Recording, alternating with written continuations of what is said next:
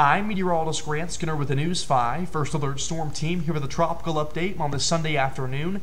As of the 4 p.m. advisory from the National Hurricane Center, we now have potential tropical cyclone 6. Now, the reason why the National Hurricane Center has given it this name is now it can issue full advisories and issue watches and warnings on this system, and tropical storm force winds are expected over parts of Mexico in the next 48 hours. They want to be able to issue advisories on this system. Right now, the center of circulation is not very defined still, so that northwest movement at 5 miles per hour is uh, kind of a rough estimate of what they're seeing, but maximum winds are at 50 miles per hour and the pressure is at 1,003 millibars. So here's the latest track on potential tropical cyclone 6. Again, 50 mile per hour winds right now. It'll move to the northwest and eventually to the north, staying in the far western portions of the Gulf of Mexico, riding along the Texas coastline and pushing towards Louisiana. That's what the current cone shows. But remember, this will likely change as still does not have a good defined center of circulation. So once that becomes more defined, those forecast models will have a better idea of where the system will go. Now, by the time we hit 1 p.m. Wednesday, It'll be a Category 1 hurricane, as of the latest track from the Hurricane Center, before making landfall, again, somewhere between the far eastern portions of Texas along the coastline and along or along the Louisiana coastline. Once it push, pushes inland, it will become a lot weaker. Those winds will die down. But note that the News 5 viewing area is not within the cone of uncertainty, but we could still see some gustier winds, rougher surf, and also higher rain chances by Wednesday and Thursday of the coming week. So here's our tropical steering. What's allowing this thing to move?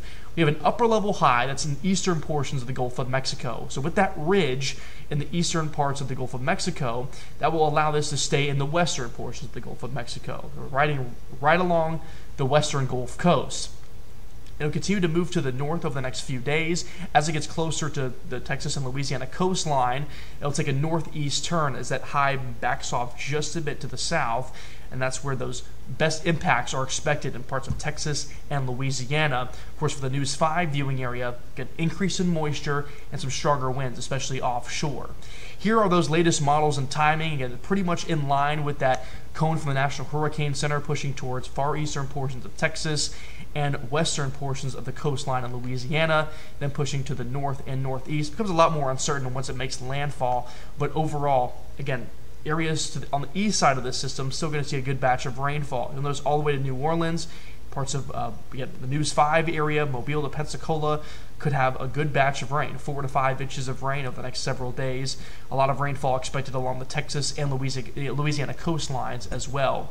So local impacts. Overall, waves are going to get up to 4 to 8 feet by Thursday as the system makes its way through the Gulf. So we'll have a high risk for rip currents by Wednesday. Moderate to heavy rain, most likely on Wednesday and Thursday. Increasing wind speeds as well. Again, this will change depending on uh, when we nail down the track of this system. Again, things could change, so always make sure to stay up, up to date on all the latest updates. We'll have those on air and on WKRG.com. There's a couple more areas we're watching. One is a high chance of development in the central Atlantic. It's moving to the west northwest, and another one that's just to the east of that system in the eastern Atlantic, a 50% chance of development, so a medium chance in the next seven days. Overall, Right now, U.S. impacts are not expected from these systems, but just a couple more areas that we're watching. Of course, like I mentioned, changes can still happen, so always stay up to date. Have multiple ways to get warnings, especially if you're in the path of this system, and to stay up to date on air and on WKRG.com.